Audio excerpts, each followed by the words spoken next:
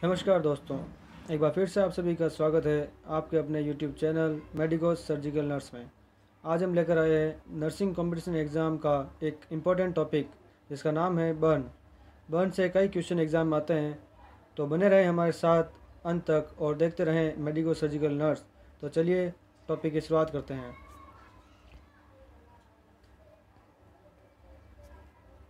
सबसे पहले हम बर्न की डेफिनेशन के बारे में पढ़ते हैं। It is the transfer of energy from one source to another which leads to tissue damage, destruction, protein denaturalization and ionization of content. Burn की जो डेफिनेशन है उसके अंदर लिखा गया है कि बर्न का मतलब होता है कि एनर्जी का एक सोर्स से दूसरे सोर्स में ट्रांसफ़र होना जो क्या करता है कि आपके टिश्यू को डैमेज कर सकता है उसमें डिस्ट्रक्शन कर सकता है प्रोटीन को डी न्यूट्रलाइज और कंटेंट को आयोनाइज कर सकता है इसी को बर्न कहा गया है टिश्यू डैमेज किसी कारण, जिस कारण से भी हो सकता है बर्न के अंदर थर्मल जो बर्निंग होती है या केमिकल बर्निंग उसके कारण टिश्यू डैमेज होना बर्न कहलाता है। आगे देखिए classification of burn injury based upon the depth जो हम बर्न की जो क्लासिफिकेशन करेंगे, वो बर्न के जो डेप्थ है या गहराई के तुलना पर करेंगे।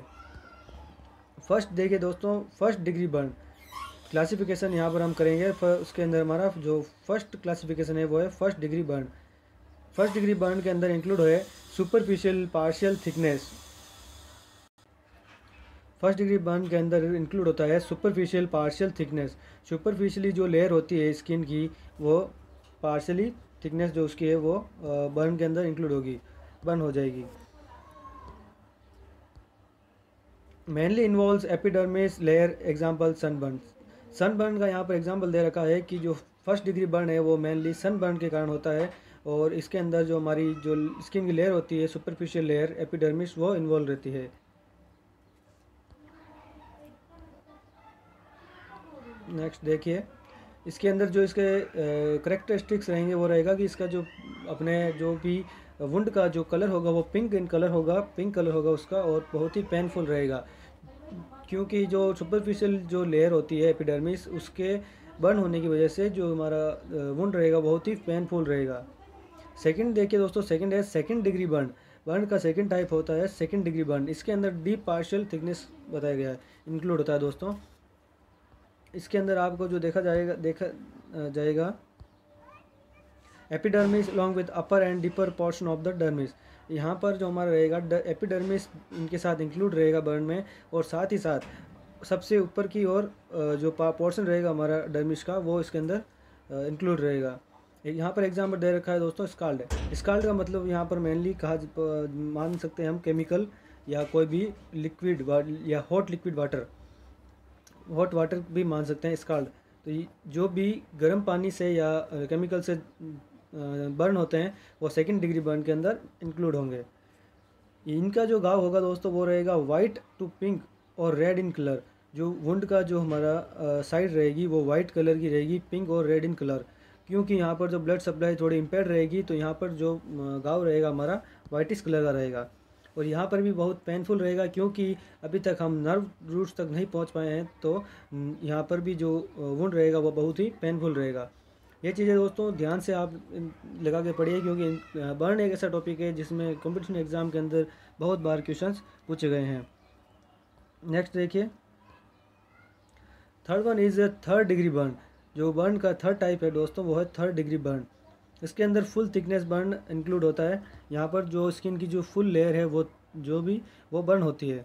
इसके अंदर इंक्लूड होता है epidermis dermis subcutaneous tissue and even deeper tissue will be affected third degree burn के अंदर जो हमारी सुपरफिशियल लेयर है एपिडर्मिस और सेकेंड वन इज़ डर्मिस और सबकुटेनियस टिश्यू या जिसे हम का, कहते हैं फैट वो भी इसके अंदर इंक्लूड हो जाता है। And even deeper tissue will be affected जो भी हमारे टिश्यूज़ हैं, जो कि गहराई में हैं, वो, वह भी अफेक्ट होते हैं in third degree burn it is painless because nerves are completely destroyed इसके अंदर बताया गया है दोस्तों कि जो हमारे नर्व्स हैं, वो यहाँ पर इम्पेयर्ड होगी, यहाँ पर डैमेज होगी, उसके कारण जो पेशेंट होगा, उसको बिल्कुल भी पेन नहीं होगा या थोड़ा थोड़ा पेन होगा. Example burn from flame and electrical burn जो भी यहाँ पर थर्ड डिग्री बर्न के अंदर पेशेंट होगा, वो फ्लेम यानी कि आग से जला हुआ होगा या इलेक्ट्रिकल बर्न होगा उसके अंदर। तो उसके अंदर क्या है कि सबसे डीप जो हमारी लेयर होती है, वहाँ तक डैमेज हो जाती है। Epidermis dermis subcutaneous tissue even deeper tissue will be affected देखिए दोस्तों, यहाँ पर ये चीज़ें बहुत ध्यान रखने लायक होती है, क्योंकि कई बार क्वेश्चन इनमें से ही पूछा जाता है कि किस डिग्री ऑफ़ बर्न के अंदर सबकुटेनियस टिश्यू इन्वॉल्व होता है, किसके अंदर डर्मिस इन्वॉल्व होती है तो यहाँ पर जो आप है वो ध्यान से देखिए। और ये भी पूछा जाता है कि कौन से डिग्री ऑफ़ बर्न के अंदर जो वुंड रहेगा या पेन रहेगा, हमारा पेन लेस रहेगा। देखिए दोस्तों नेक्स्ट देखिए वाइट टू चेड यहाँ पर जो पेशेंट का जो वुंड रहेगा वो बिल्कुल वाइटिश हो जाएगा because of blood supply impairment little और नो पेन। यहाँ पर पेन रह भी सकता है क्योंकि कुछ नर्व्स, मान लीजिए बच गई है तो वहाँ से पेन बिल्कुल थोड़ा हो भी सकता है और बिल्कुल पेनलेस भी पेशेंट रह सकता है। नेक्स्ट देखिए दोस्तों, यहाँ पर कहा गया extent of body surface area burn अब यहाँ पर हमें कैलकुलेट करना है कि पेशेंट का जो बॉडी जो बर्न हुआ है, वो कितना परसेंटेज बॉडी बर्न हुआ है।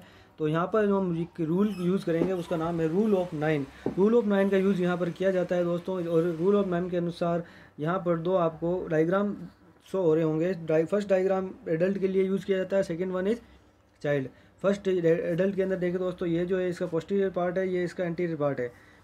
पोस्टीरियर एंटीरियर के अंदर कितना परसेंटेज जो हमारे एरिया को बांटा गया है, उसके बारे में यहाँ पर बताया गया है. Four and half and four and half head यानी कि जो नाइन परसेंट जो होता है हमारा हेड के लिए काउंट किया जाता है। Nine percent interior upper chest और nine percent posterior upper chest nine percent lower abdominal interior और posterior lower abdomen nine percent जो हमारे फोर आर्म्स होते हैं दोस्तों, ये इंटीरियर और पोस्टीरियर मिला के नाइन परसेंट होते हैं। जेनेटल एरिया है, उसको वन परसेंट कैलकुलेट किया जाता है और जो लेग्स हैं इंटीरियर और पोस्टीरियर मिला के एट्टीन और एटीन, बहुत थर्टी सिक्स काउंट किया जाता है। देख, इसे ही, ऐसी, इसी तरह बच्चों के अंदर कुछ डिफरेंस होता है दोस्तों, जैसे कि बच्चों के अंदर हेड जो है हेड और नेक उन, उसको एट्टीन परसेंटेज एवेल्यूएट किया जाता है या माना जाता है।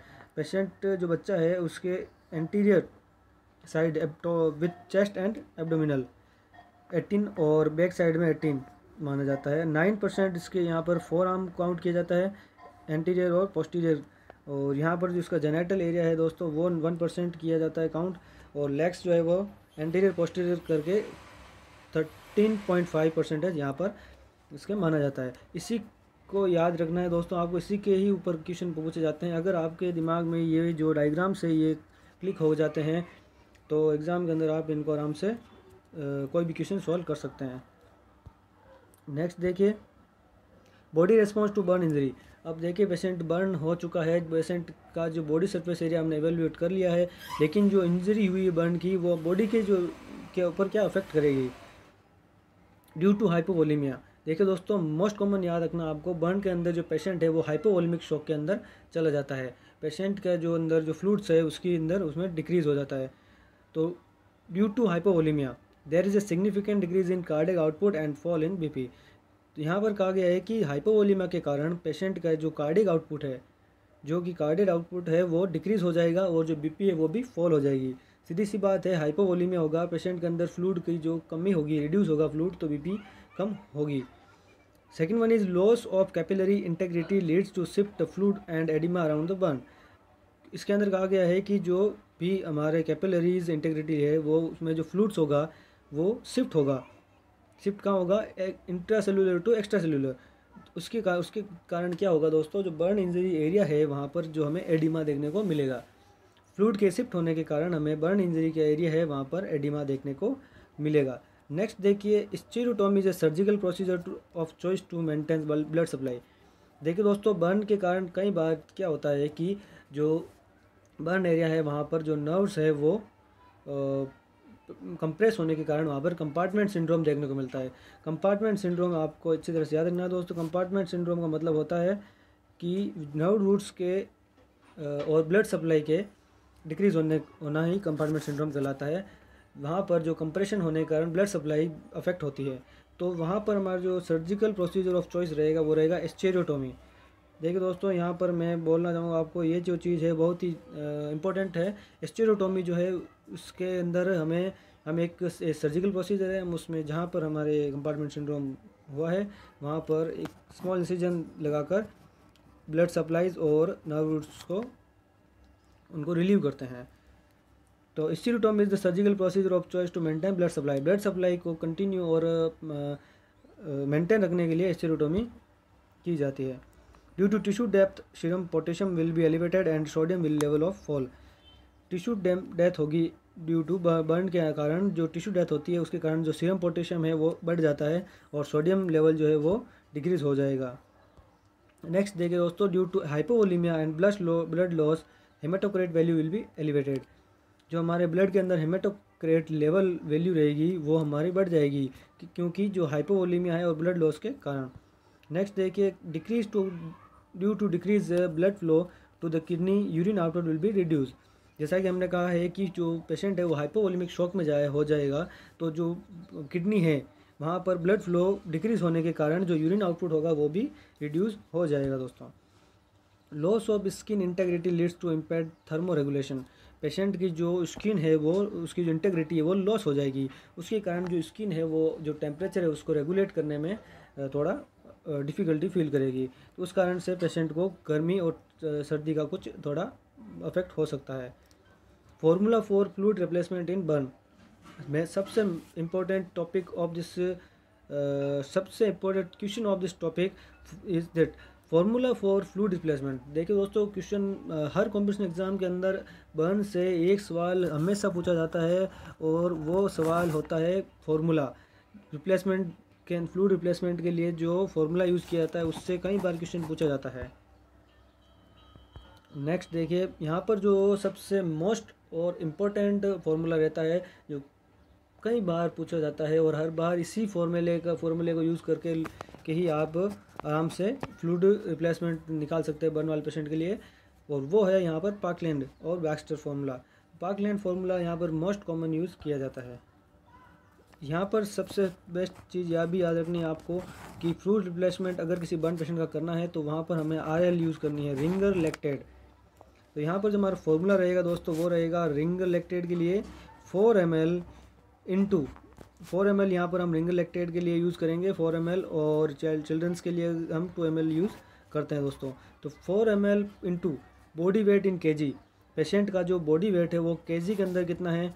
वो यहाँ पर काउंट किया जाएगा into percentage of total body surface area burn देखिए दोस्तों, यहाँ पर जो percentage of total total body surface area burn है, ये हम पिछले जो हमने पिक देखी थी, उसके अंदर से हमें काउंट करना है। जो हमने यहाँ पर, देखिए मैं भी आपको दिखाता हूँ वापस।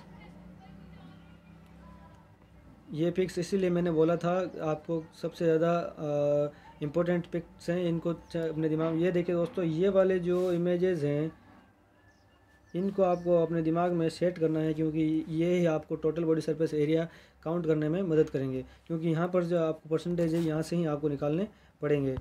तो आगे जाके जब क्वेश्चन सॉल्व करोगे तो यहाँ से body total surface area percentage यहाँ से आपको फाइंड होंगे दोस्तों।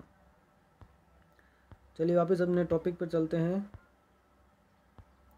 पार्कलैंड फार्मूला के बारे में पढ़ रहे थे, यहाँ पर इंगल इलेक्ट्रिक के बारे में पढ़ रहे थे। Four M L multiply by body weight in K G multiply by percentage of total body surface area burn जो भी टोटल बॉडी सरफेस एरिया का परसेंटेज है, वो यहाँ पर हमें लिखना है और तीनों को मल्टीप्लाई करने के बाद जो हमें अमाउंट प्राप्त होता है या जो हम अमाउंट फाइंड कर, करते हैं, उसका अब देखिए दोस्तों, जो डे फ़र्स्ट है पेशेंट आपके पास आया है, उसका डे फ़र्स्ट है।